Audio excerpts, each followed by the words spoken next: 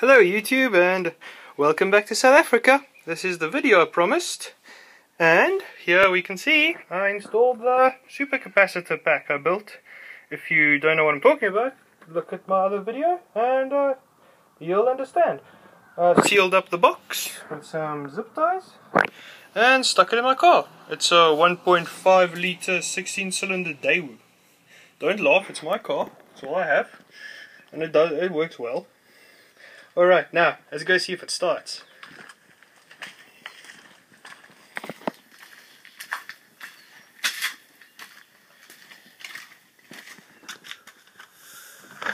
Okay. Okay. Fuel pump primes, and it starts. Brilliant.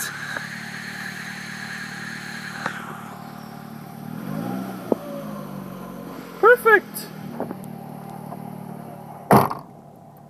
Okay, I'm to turn it off now. Okay, to be perfectly honest, I knew I was to start because I already started it.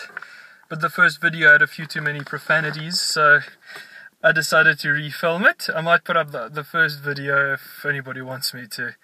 But uh, yes, it, it actually works very well. It, it might actually start better than uh, with the battery, which is quite surprising.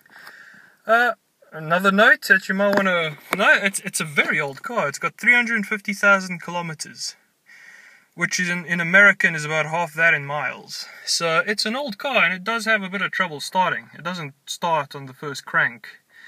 So yeah, I'm, I'm pretty impressed. Uh, I, I would like to be able to measure the cranking current, but I don't have the appropriate uh, meter to measure that. Uh, I need an inductive DC clamp current meter, and I, I don't have one. I'm looking, so uh, I'd like to know if if it actually asks the well, if it uses more than 200 amps at any point, which would be more than the safe limit for the supercapacitor pack to handle.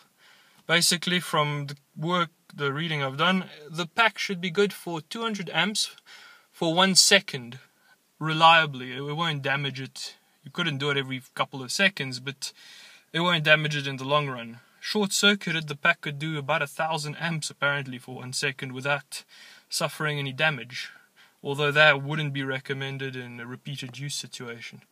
So, yes, thank you very much for watching this little video, and I apologize for the wiggliness, but I can't put the, my camera on a tripod, so apologies for that, and thank you for everyone who subscribed, liked, and uh, generally viewed my channel. It's a great encouragement, and uh, if you have any questions, I'd be glad to answer them, supercapacitor related or electronics related, although I'm not very good at all that stuff, but I can always try and answer, and if you have any questions, I don't know, South Africa related, feel free to ask. Thank you very much. Cheers.